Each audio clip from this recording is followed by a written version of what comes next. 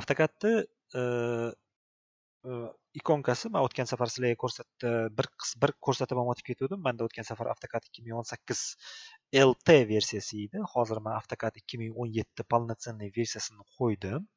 E, полноценный versiyasini qo'ydim. Sizlar boyagi internetdan man bergan ссылка bo'yicha skachat qilib olsanglar ayni mana mana shu versiyasi bo'ladi. Ayni mana shu versiyasi bo'ladi. Endi ishni boshlayotgan paytda o'tgan safar ham aytdim. Biza hech narsaga e'tibor berib o'tirmaymiz. Boshqa hech narsaga qarab o'tirmaymizda start drawingni bosamiz. Start drawingni bosganimizdan keyin bizada yangi chizma yangi chizma paydo bo'ldi. Mana mana bu e, drawing bir degani bu yangi chizma. Mana bu start degani bu start. Bu boyagi startovый vkladka ya'ni boshlang'ich vkladka mana mana start drawing bosganimizdan keyin mana mana bu drawing bir paydo bo'ldi yangi bu yangi chizma o'tgan safar sizlarga aytdim endi kimdadir hozir avtokad bo'ladigan bo'lsa man bilan parallelniy tekshirib boyagi ishlab anaqa qilishga harakat qilsa bo'ladi o'tgan safar man sizlarga aytdim установка qilayotgan variant paytinglarda avtokadni обязательно английский versiyasini установка qilinglar dedim nimaga angliskiy versiyasi bilan rусский versiyani masalan aytishinglar mumkin farqi yo'q nima farqi bor deyishinglar mumkin. Nima farqi bor deyishinglar mumkin. Lekin e, avtokadda e, farqi bor. Sababi sababi. Biza mana mana bu yerdagi e, komandalarni hammasini klaviaturada nabor qilish nabor qilib chaqirishni o'rganamiz. То есть mana bu mana bu tepadagi panellardagi komandalarni deyarli ishlatmaymiz. То есть oxir oqibat shu umuman ishlatmaslikni o'rganamiz faqat klaviaturada ishlashni o'rganamiz. Ya'ni e, shunaqangi состояние shunaqangi vaqt kelishi mumkin. Sizlar e, mana mana bu e, minimize to panel buttons degan knopkani bosib instrumentlarni minimizировать yoki bo'lmasam umuman faqat anaqasini qoldirib vkladkani nomini qoldirib yoki umuman yoki umuman mm, yana bir marta shu knopkani bosib shu knopkani bosib umuman olib tashlashinglar ham mumkin. Mana mana shunaqangi holatda ishlashinglar ham mumkin. Umuman instrumentsiz. Э, uning uchun sizlar klaviaturada ishlashni o'rganib olishinglar kerak. Endi man o'tgan safar э, tanishtirib o'tib ketdim. Yana bir marta qisqa qaytarib o'tamiz. Mana bu eng tepada joylashgan instrumentlar eng tepada joylashgan instrumentlar bular panel быстрого доступа ya'ni э, o'zbekchasiga mm, o'zbekchasiga перевод qilmay qo'ya qolaylik g'alati eshitilishi mumkin. Bu yerda E, new ya'ni yangi chizma yaratish e, bor yaratilgan e, сохранить qilib qo'yilgan chizmani ochish chizmani сохранить qilish chizmani qanaqadir bir konkret nom bilan сохранить qilish pechatga berish orqaga qaytarish oldinga qaytarish degan instrumentlar по умолчанию inglizchasiga aytganda by default joylashgan. Undan tashqari mana mana shu instrumentlardan keyin o'ng tomonda mana mana bu yerda pastga qaragan strelka bor. O'sha strelkani bosadigan bo'lsanglar shetga mana mana shu instrumentlarni spiskasiga qo'shimcha mana mana bitta galochkasi qo'yilmagan instrumentlarni ham qo'shishinglar mumkin. Bu workspace match properties batch plot plot preview properties sheet set manager render mana shular. Endi bundan tashqari bu bu instrumentlardan tashqari betga qo'shimcha instrumentlarni ham настройка bilan qilib qo'shsanglar bo'ladi. Но bizaga bu narsalar umuman kerak emas. Bizaga единственный hozir qiziqtirishi mumkin bo'lgan narsa mana mana workspaces workspace degan e, instrument. E, workspace ochganingizdan keyin mana mana bu paydo bo'lgan mana drafting and annotation degani bu workspace hisoblanadi. E, ya'ni workspace bu рабочий пространство yoki ishchi пространство ishchi soha ishchi soha deb faraz qilamiz mana mana bu mana mana bu yerdagi turgan mana mana shu vkladkalardan boshlab pastgacha hammasi mana mana shu hammasi ishchi soha hisoblanadi mana shu hammasi ishchi soha hisoblanadi endi bizada ishchi sohamiz hozir drafting and annotation ya'ni chizma va annotatsiya deb nomlanadi. Bundan tashqari yana boshqacha tipdagi e, ishchi e, sohalar ham bor. Mana masalan drafting annotation ustiga bitta bosadigan bo'lsangiz spiska ochilib keldi. 3d basic 3d modeling e, autocad classic. Masalan 3d basicga bitta bosaylik. 3d basicga bitta bosadigan bo'lsak mana bu instrumentlarimiz hammasi o'zgarib ketdi. Ya'ni bizani ish sohamiz 3d modellashtirishga moslashdi. 3D modellashtirishga moslashdi. Lekin bu degani bu degani boshqa boyagi mana bu avtokad e, drafting annotationdagi instrumentlar ishlatib bo'lmaydi degani emas. Biz mana mana shu e, 3d basicga e, o'tib olib turib mana mana shu instrumentlarda mana shu instrumentlar turgan paytda biza klaviaturada klaviaturada biladigan instrumentlarimizni nabor qilib ishlatursak bo'ladi. Liniya bo'ladimi poliliniya aylana boshqa palon hammasini ishlatursak bo'ladi. Yoki bo'lmasam 3d basedan tashqari yana 3d modeling degan e, boyagi ish sohasi bor. Endi bu 3d modelирование 3d modellashtirishi уже более обширный versiyasi ya'ni более kengroq versiyasi. Endi bizga e, hozir e, mana bu 3D Basic ham 3D modeling ham тем более AutoCAD klassik ish sohalari kerak emas. AutoCAD klassik ni biza qaramaymiz ham chunki AutoCAD klassik mana mana bu hozir bosib ko'raylik bu oldin oldin AutoCAD eski versiyalari taxminan mana mana bunaqangi ko'rinishda bo'lgan instrumentlari mana mana bunaqangi ko'rinishda bo'lgan. Э, endi э, avtokat ikki ming o'n uchinchi yil э, versiyasidan boshlab mana mana bunaqangi yangicha versiyaga o'tgan lekin eski versiyada ishlagan odamlar adashib boyagi qiyin adashib qolib yoki qiynalmasligi uchun bu yerga avtokat klassik variantini ham обязательно qo'shib qo'yishgan. Но manimcha keyingi yangi yangi qaysidir yildan boshlab yangi chiqayotgan versiyalarda avtokat klassik ish sohasini umuman olib tashlasa kerak. Bu mani o'zimni личный fikrlarim endi mana mana bu panel instrument instrumentlar panellari instrumentlar panellari vkladkalardan tashkil topgan vkladkalardan tashkil topgan mana mana bu home vkladkasi home vkladkasini ichida mana mana shu hamma instrumentlar joylashgan agar e, tepada insert vkladkasini bosadigan bo'lsak hamma instrumentlarimiz o'zgardi. Ya'ni bu instrumentlar endi insert vkladkasini ichida joylashgan instrumentlar. Annotate instrumentini e, vkladkasini bosadigan bo'lsak yana boshqa instrumentlar chiqyapti. Mana shunaqa qilib e, bir nechta vkladkalardan tashkil topgan. Endi ba'zi bir vkladkalar umuman kerak emas. Ko'p vkladkalar umuman ishlatilmaydi. Э, o'shaning uchun э, bizaga э, hozir eng asosiy kerak bo'ladigan vkladkalar mana asosiy ishlaydigan vkladkamiz mana mana home vkladkasi keyin insert annotate yoki bo'lmasam boyagi mana bu view mana mana bu parametrik degan vkladkalar bilan ishlashimiz ham mumkin. Но hozircha mana mana bu home vkladkasini o'rganib olaylik. Endi home bitta vkladkaning ichida bir nechta podvkladka bo'lishi ham mumkin ya'ni instrumentlar paneli. Bitta vkladkaning ichida bir nechta instrumentlar paneli bo'lishi mumkin. Mana mana bu e, e'tibor beringlar e, home vkladkasini ichida e, draw instrumentlar paneli. Draw degani chizma chizish degani. Modify instrumentlar paneli ya'ni redaktировать yoki bo'lmasam tahrirlash o'zbekchaga перевод qilganda annotation instrumentlar paneli bu annotatsiya layers layers bu sloy o'zbekchasiga перевод qilganda qatlam deb перевод qilsak qandoq bo'lar ekan g'alati bo'lmasmikin ну sloyda yoki layer photoshopda oynalar deyilardi domla.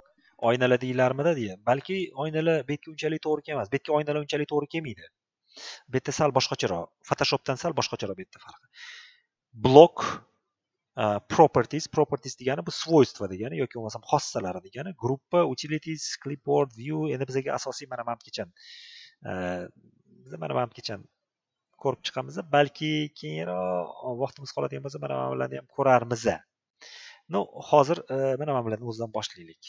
Bularni instrumentlarni bitta bitta bitta bitta o'rganib chiqaveramiz. Endi instrumentlardan oldin instrumentlardan oldin avtokadni o'zini ishlash prinsiplarini bir ko'rib chiqaylik. Ko'pchilik e, programmalardan ko'ra avtokadni o'ziga yarasha unikalniy e, yoki unikalniy hamda farq tomonlari bor. Masalan photoshopda yoki bo'lmasam corel drawda yoki bo'lmasam boshqa programmalarda ishlagan yigitlar bolalar bo'ladigan bo'lsa oranglarda. E, avtokadda ishlash конечно osonlashadi lekin bunda avtokadda sal o'ziga yarasha konkretniy bir nyuanslari bor. Shunaqangi e, shunaqangi jihatlari borki e, shunaqangi jihatlari borki boshqa bironta programmada bu narsani ko'rmaysizlar и mana shu avtokadni unikalniy tomonlari hisoblanadi. Man bitta bitta ko'rsatib chiqaman. Э, bitta bitta ko'rsatib chiqmayman e, ko'rsatib yetib ketgan paytimda o'shani boyagiday bir e, подчеркивать qilib o'tib ketaman. Endi o'ng tomoninglarda instrumentlarni tek e, chizma chizmani sohasida o'ng tomonda mana bunaqangi kompas bor.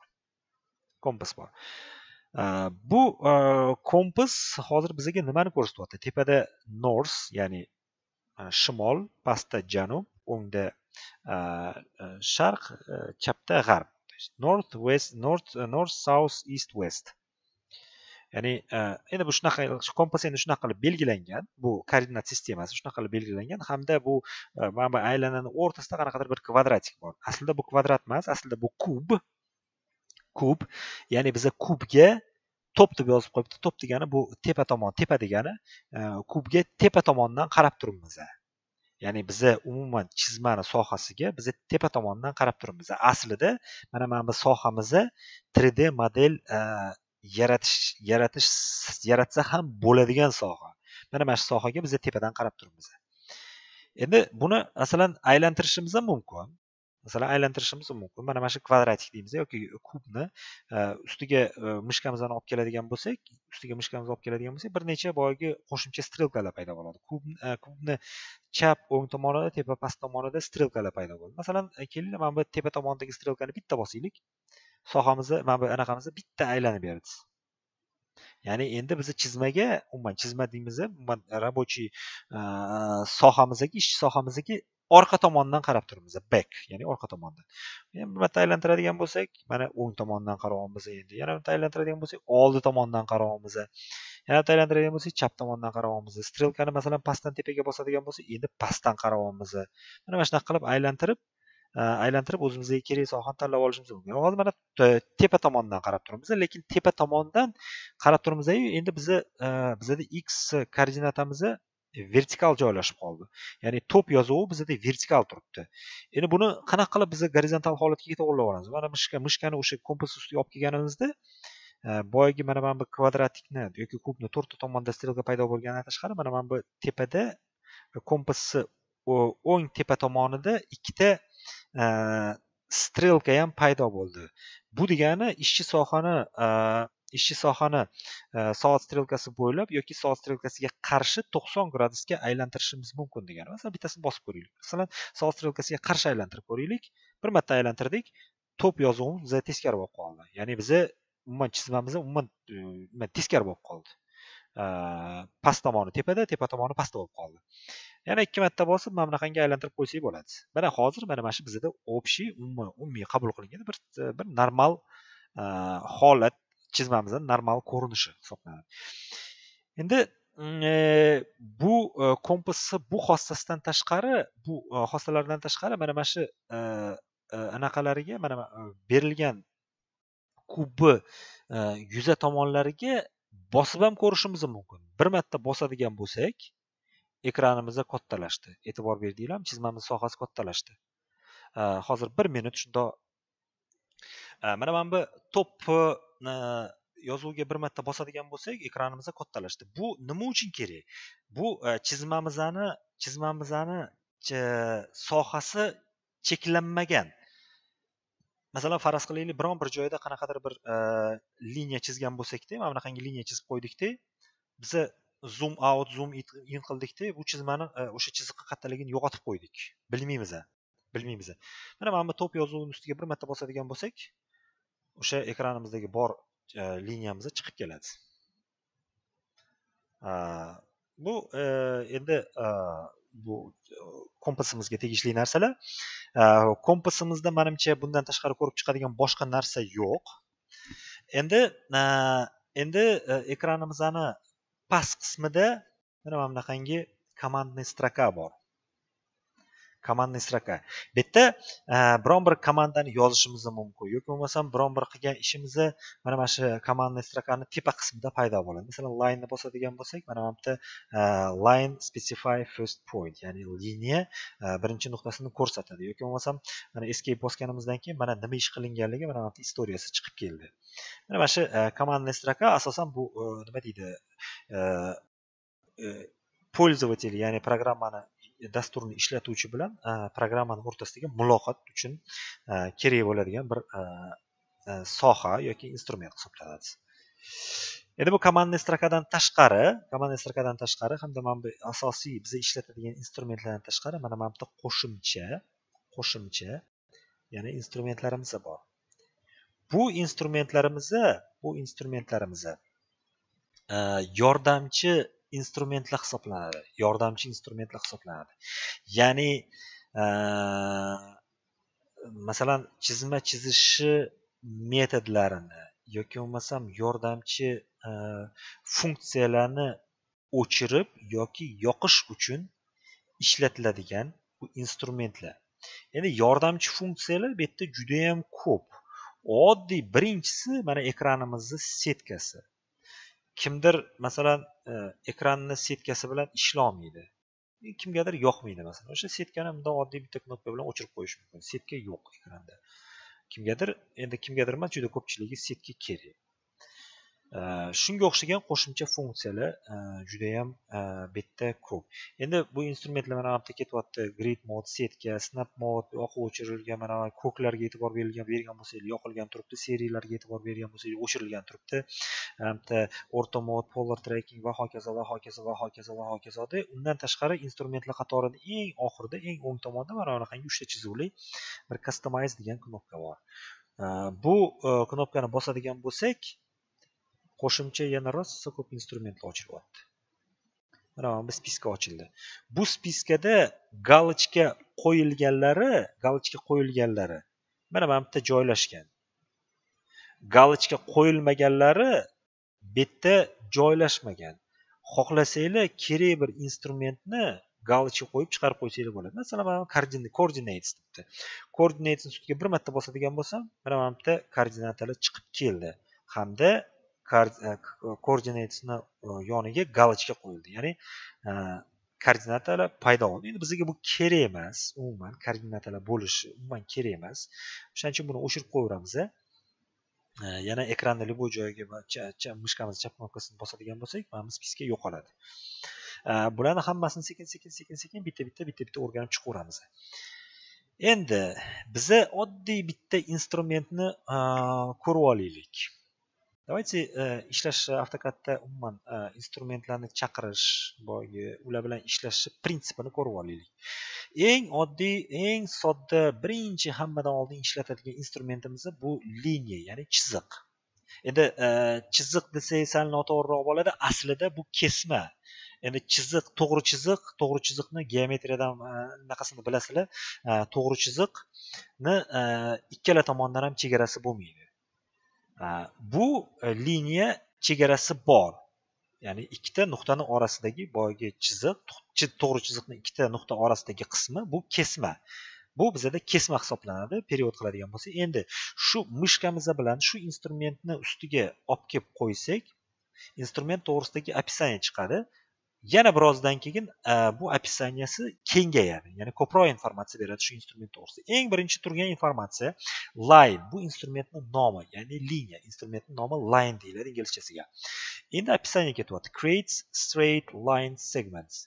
Ya'ni mm, e, e, to'g'ri chiziq segmentlarini yasaydi yaratadi deyapti. Yana qo'shimcha ko'proq informatsiya with a line, with line you can create a series of uh, uh, continuous line segments. Each segment is a line object that can be edited separately. Yani yani uh, uh, uh ketma ket ketma ket uh, chiziqlar ya'ni kesmalarni uh, segmentlarini yaratishimiz mumkin. Har bitta har bitta segment alohida obyekt hisoblanadi va alohida alohida tahrirlanishi yoki redaktsiya qilinishi mumkin. И mana bitta qo'shimcha pastda chizmasini ham ko'rsatib qo'yibdi. Qizilda e, и e, yashilda boyagi nuqtalar bir ikki uch deb ko'rsatib qo'yibdi. И undan pastda asosiy informatsiyalardan bittasi line deb katta bilan yozib qo'yibdi. Bu nima degani? Biza klaviaturada o'sha line degan yozuvni nabor qilib shu instrumentni chaqirib olishimiz mumkin. Mana masalan faraz qilaylik e, e, mishkamizani biza chizmamizni ustiga olib keldik. Biza biron bir instrumentni ustida emas aynan chizmani ustida hamda klaviaturada line deb nabor qilyapmiz inglizchada. Line deb nabor qilganimizdan keyin mana bu bitta instrumentlar paydo bo'ldi. Line line type line weight va hokazo va hokazo dimlinglar birinchisi конечно же line. Albatta line. O'sha line yozuvini yozib turib enterni bir marta bosadigan bo'lsak biza xuddi mana mana bu e, instrumentlar panelidagi line komandasini bosganimizdek bo'ladi. E, sal masshtabni sal yaqinlashtirib olaylik. Э, line komandasini bosganimizdagi bo'ladi. Birinchi nuqtasini ko'rsatamiz ikkinchi nuqtasini ko'rsatamiz e, bitta liniya bitta kesma tayyor bo'ldi. Keyin yana bitta nuqtasini ko'rsatadigan bo'lsak uchinchi kesma ham tayyor bo'ldi. Yana bitta nuqtani ko'rsatadigan bo'lsak to'rtinchi kesma. Yana bitta nuqta beshinchi kesma. Va hokazo va hokazo. E, operatsiyani qaytarish uchun то есть отмена qilish uchun escape klaviaturadagi escape knopkasini bosamiz. Mana mana bu oxirgi kesmani hali yaratmadik. Escape klaviaturada escape knopkasini bosganimizdan keyin mana mana shu yaratilgan narsa yaratilgancha qoldi. Oxirgisi yaratilmasdan operatsiya отмен bo'ldi. Endi sizlar e, hozir e'tibor bergan bo'lsanglar kerak. Hozir biz qisqacha mana mana bu prinsipini ko'rib chiqdik. Endi e, buni biza sal o'rganishni davom ettiramiz. E'tibor bergan bo'lsanglar biza man ekranda e, ekranni yaqinlashtirib uzoqlashtiryapman hamda ekranni u yoqqa bu yoqqa suryapman. Buni qanaqa qilib amalga oshiryapman sizlarni qo'linglarda joylashgan mishkani mishkani kolesosi bor o'rtasida ya'ni g'ildiragi bor. O'sha g'ildirakni tepaga pastga aylantiradigan bo'lsanglar tepaga pastga aylantiradigan bo'lsanglar ekranni yaqinlashtirib uzoqlashtirasizlar. Bu yerda control knopkasini bosish shart emas. Agar masalan oddiy masalan word e, yoki excel e, dasturlarida e, listni kattalashtirib kichraytirish uchun control knopkasini bosishinglar talab qilinadigan bo'lsa masalan kontrolni bosmasdan kolesoni aylantirsanglar listni tepasiga pastiga chiqasizlar lekin kontrol bilan bosib turib kolesoni aylantirsanglar listni kattalashtirasizlar kichraytirasizlar lekin bu yerda unaqa emas. Bu yerda kontrol knopkasini bosish talab qilinmaydi. Kolesoni o'zini aylantirganinglarni o'zi zoom e, то есть ekranni kattalashtirib kichiklashtiriladi endi ekranni surishchi e, kolesoda mishkani kolesosini e, o'zini kolesosidan tashqari tagida knopkasi ham bor. Kolesoni ustiga bir marta bosadigan bo'lsanglar e'tibor beringlar manimcha ko'pchilik bilsa kerak. Kalisoni o'zini knopkasi ham bor. Kalisoni knopkasini bosadigan bo'lsanglar kursoringlar o'zgardi. Mana anaqangi qo'l paydo bo'ldi. Endi mishkani o'sha o'sha kalisoni knopkasini ushlab turib ya'ni buni sentr knopka mishkani sentr knopkasi deymiz e, mishkani u yoqqa bu yoqqa suradigan bo'lsanglar ekraninglar suriladi. При этом ekraninglarni hammasi suriladi. Sizlar ekranga e, boshqa nuqtadan qarashni boshlaysizlar. Tushunarli. Э, endi э, mishkani ham э, mishkani ham o'zini то есть mishkani mana mana bu kursorni ham o'zini har xil turlari bor. Hozir e'tibor berayotgan bo'lsanglar kursorimiz qanaqangi holatda joylashgan? Kursorimiz e, ikkita vertikal hamda gorizontal bir biri bilan kesishgan liniyadan hamda ularni o'rtasidagi e, kvadratdan tashkil topgan. Yoki manda qanaqadir to'rtburchak bo'lib ko'rinyapti ну kvadrat bo'lsa kerak. Bu e, kursor bu kursor bu kursor e, mishkamiz e, kursorni oddiy holati eng oddiy holati ya'ni bironta komanda hali chaqirilmagan yoki bironta komanda ishlatilmayapti degan ma'noni bildiradi. Endi faraz qilaylik line knopkasini bir marta bosaylik. De mishkamiz e, kursorimiz qanaqangi o'zgarib qoldi? O'rtasidagi kvadratiki yo'qolib qoldi. Bu degani bu degani e, agar e, ikkita e, e, vertikal hamda gorizontal kesishgan liniyalardan tashkil topgan bo'lsa bu degani bizada e, bizada e, biron bir e, chizish operatsiyasi chaqirilgan bo'ladi. Chizish komandasi chaqirilgan bo'ladi. Bu liniya bo'ladimi yoki poliliniya aylana chizishmi yoki to'rtburchak chizishmi? Qanaqadir bir chizish komandasi chaqirilgan bo'ladi. Endi man hozir escape knopkasini bosaman. Escape knopkasini bosaman. Man отмена qilaman. Mana mana shunaqangi e, bir prinsipda ishlaymiz. Endi давайте kelinglar e, mana mana bu instrumentlarni sekin bitta bitta bitta bitta ko'rib chiqishni boshlaymiz. Bitta bitta ko'rib chiqishni boshlaymiz. E, tak mana mana birinchi instrumentimiz boya ko'rsatdim. Grid mode deyiladi. Grid mode ya'ni setka ekrandagi setka setkani o'chirib yoki yoqish. Endi e, bu instrumentni ustiga mishkani olib keladigan olib keladigan bo'lsam e, mana bunaqangi bir informatsiya paydo bo'lyapti. Display drawing grid on ya'ni setka yoqilgan turibdi. E, grid mode qog'oz ichida f yetti. Qog'oz ichida f yetti. Mana mana bu mana sal yaqinroq ko'rsatsam mana bunaqangi. Bu nima degani? Bu degani setkani o'chirib yoqish uchun shu piktogrammani o'zidan foydalansam bo'ladi. Mishkani chap knopkasini bosaman o'chiraman yana bir marta bosaman yoqaman. Yoki bo'lmasam klaviaturamni tepa qismidagi funksional klavishalar bor. F f birdan boshlab f o'n ikkigacha o'sha yerdagi f yetti knopkasini bosadigan bo'lsam setkam o'chadi yana bir marta bosadigan bo'lsam setkam yonadi. Причем причем yigitlar mana shu yerga e'tibor beringlar yigitlar qizlar e'tibor beringlar. Tepadagi instrumentlar mana mana bu chizma chizish instrumenti modif e, redaktировать tahrirlash annotatsiya mana mana shu instrumentlar bilan bu instrumentlar ikkalasi parallel ishlayveradi. Parallel ishlayveradi. Masalan faraz qilaylik man liniyani e, bosdim. Liniyani birinchi nuqtasini ko'rsatdimda ikkinchi nuqtasini hali ko'rsatmadim. Shotni o'zida man e, setkani o'chirib qo'yishim ham mumkin. Hali liniyani lekin oxirigacha chizmadim. Yoki bo'lmasam klavisha f yetti klavishani bosadigan bo'lsam setga yoqiladi avtomatik. Mana mana shu e, avtokadni bitta e, fishkalaridan biri hisoblanadi. Juda bir удобный narsa. E, boshqa programmalarda ham bunaqangi narsa bor lekin bu avtokadda juda bir maromiga yetkazib nima deydi dizayn qilingan bu narsa.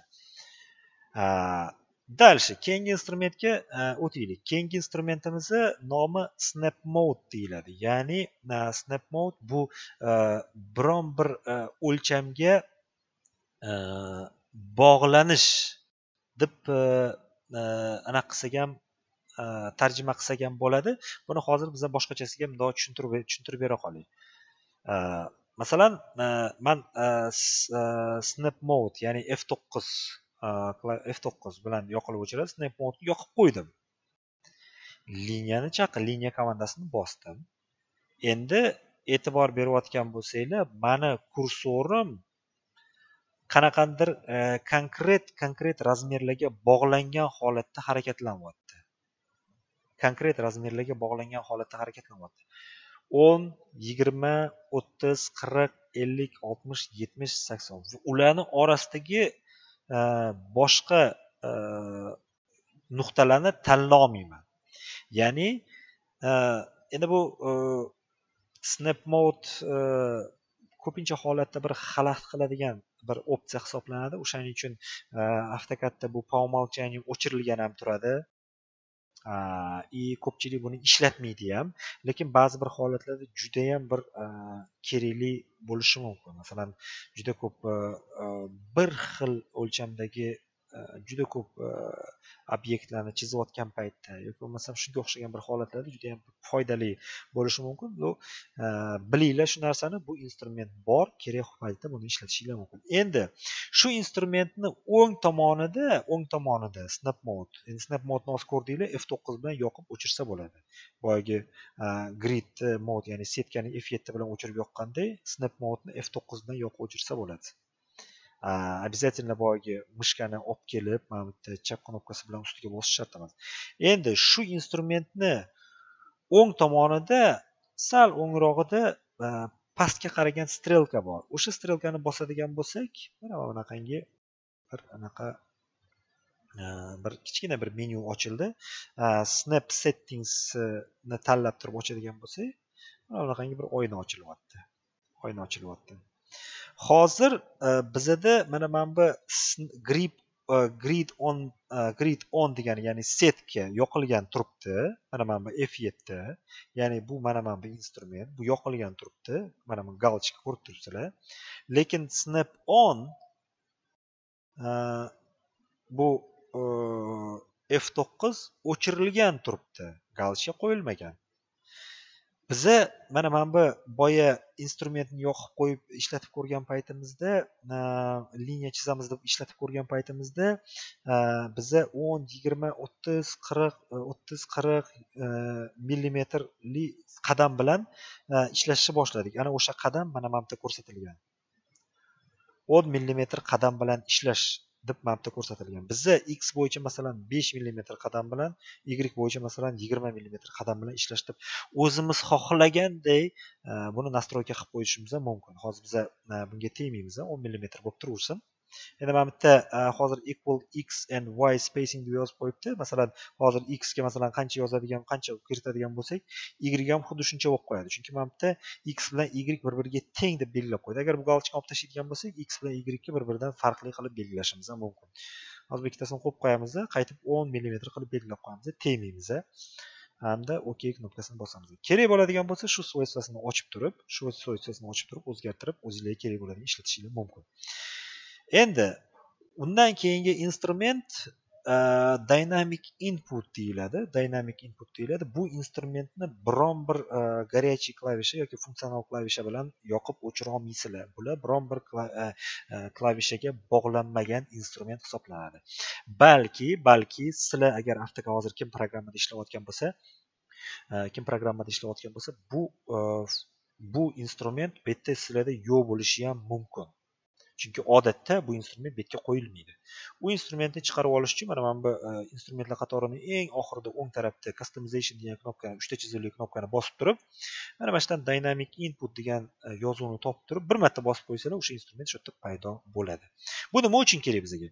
Bu dynamic input imkon darajasida doim sizlarda yoqib turishi kerak. Bu ishlash uchun juda bir удобный instrument juda bir удобный instrument bu instrument komandniy strakani, komandniy strakani bir qancha funksiyasini o'zini ichiga oladida hamda e, foydalanuvchiga qo'shimcha imkoniyatlar qo'shimcha qulayliklar yaratib beradi. Masalan line knopkasini bir marta bosganimizdan keyin э, e, kursorimizni o'ng past qismida mana bunaqangi menyucha paydo bo'ldi всплывающий menyucha paydo bo'ldi. Mana mana shu dynamic inputni e, E, yo'qolgani uchun paydo bo'lgan bir e, funksiya.